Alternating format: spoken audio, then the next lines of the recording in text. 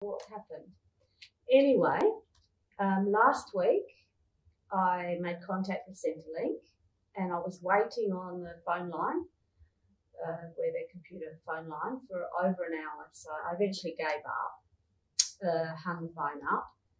The reason that I made contact with them is because uh, I'd received a letter, which I was quite agitated about, saying that I owe 4,000 uh, eighty-three dollars.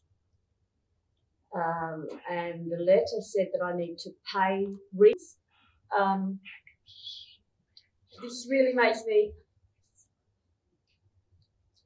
Uh, it, it's making me very anxious, causing a lot of anxiety. I am the first one to admit that computers are not always perfect, uh, but you know our systems do work for us, and we have checked them. And uh, you know we're quite confi- con- confident that despite all the crit- criticisms that uh, What? people, What? um, yeah, What? I missed that. what's What what's what's uh, which which part? What Oh, about the computer and that you're Oh, oh, no. Well, look, I was just saying that uh, our computer systems Okay, well, the system's very complicated.